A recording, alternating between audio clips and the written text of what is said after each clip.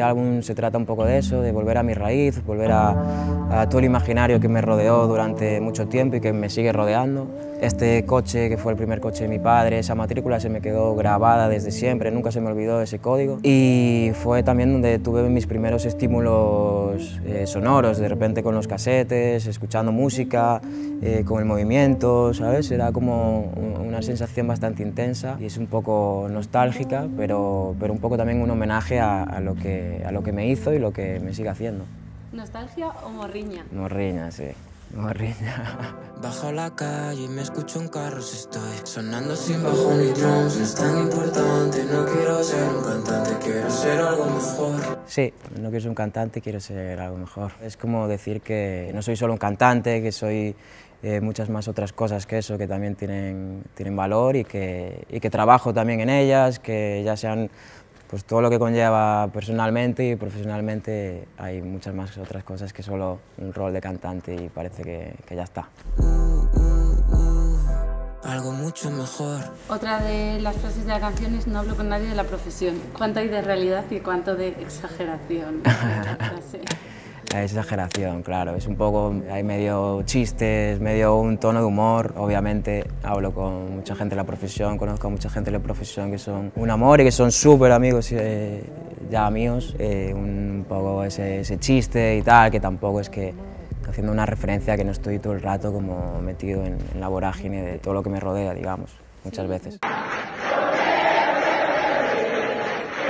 Lo hablaba con una amiga el otro día, le decía, mira, sabes, viajas, vas a otros sitios y tal, ¿no? Y es cuando voy a Galicia cuando siento que realmente tengo esa sensación como de pertenencia, ¿sabes? Como de que mi raíz parece que está aquí bien, bien anclada y tal, y es donde me siento realmente como, como en mi sitio, ¿sabes? Entonces la morriña forma parte de, del gallego, yo creo.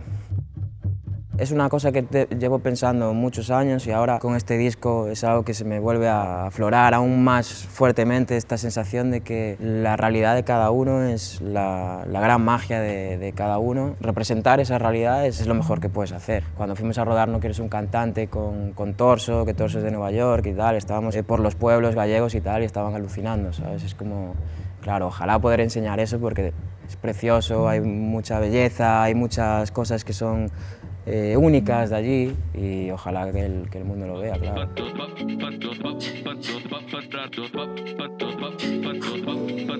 ¿Te gustaría sonar en una verbena?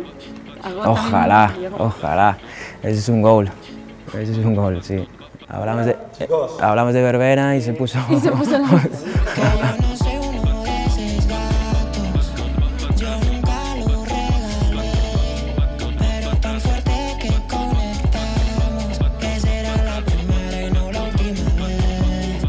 falsete tan icónico a la hora de, de cantar? ¿Cómo, ¿Cómo, nació? Mm, no sabría decirte, o sea, se me va ahí la voz. Alguna vez dejé ganarme, fue para ganarme este tesoro.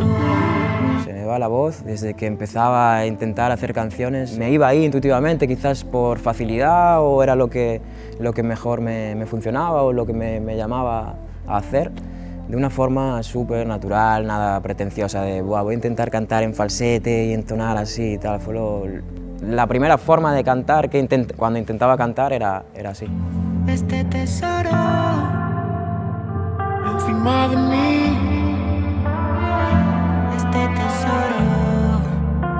Siempre que no estoy con, con el ritmo de trabajo o, o o queriendo crear y tal, necesito ese espacio de calma con, mi familia, lo que yo llamo familia, y es lo que me mantiene como también eh, sereno, tranquilo. Eh, no, creo que no sería capaz de hacer todo lo que hago si no siento que tengo una familia a mi lado.